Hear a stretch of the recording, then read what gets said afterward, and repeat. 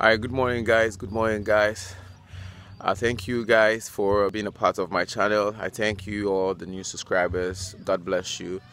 Uh, I woke up this morning. I woke up today in Fojoku, a small town in Volta region, and that is where I'm right now. And yeah, I like the environment. It's very quiet, serene, and this is where I slept last night. Yes, that's where I slept. That's the house. So, and this morning, why am I here? I actually came for treatment.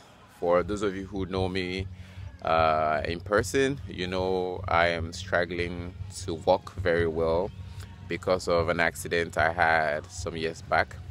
So I came for treatment here in the Volta region.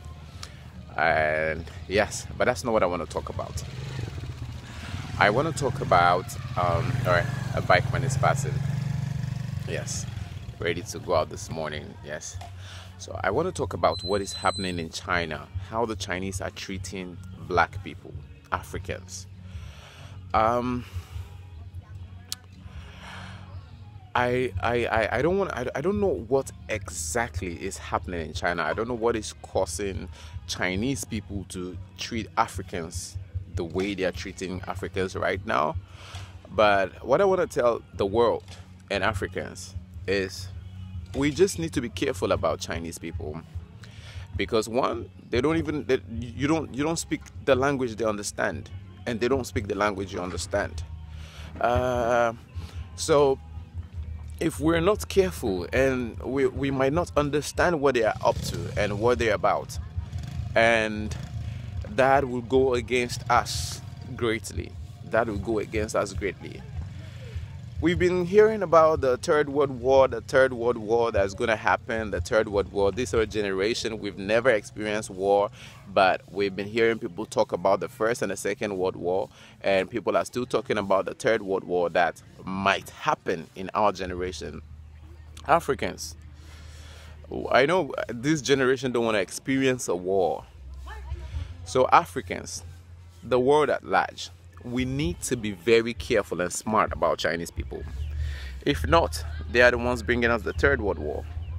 If not, they are the ones about to start the Third World War. So let's be careful about these Chinese people. I am I am very serious. I am very very serious about these people. If we are not careful about these people, if we don't take measures, if we are not wise, if we don't take measures that are going to help us as a world, as a world that wants peace to reign, as as as a world that wants unity, as a world that Africans we we I don't even know why Africans are all around in the world. Like, what don't we have in Africa? We are blessed than every every every every how do I put it? We are blessed than every continent on this planet. But we still go out there because we don't have this. We don't have this. We lack this. And when we go out there and get this, we come back and we, we still want to go back there.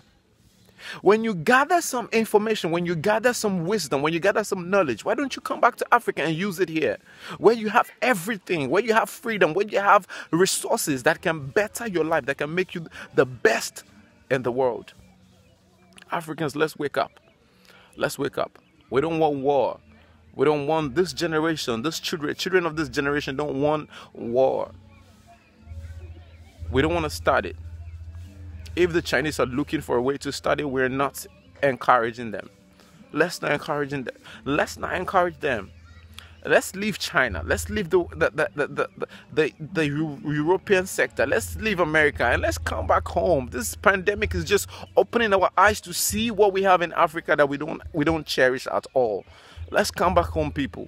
Let's make Africa great. Let's enjoy Africa. Let's bless Africa one more time. We have the strength, we have the power, we have the knowledge. Africans are doing great things out there. Africans are great surgeons. Africans are great doctors. Africans are great engineers out there. Why don't we come back home where we have the freedom to exhibit all the blessings, all the giftings that God has given to us? This is all I want to share this morning. Bless you, stay blessed, and enjoy your day. God bless you.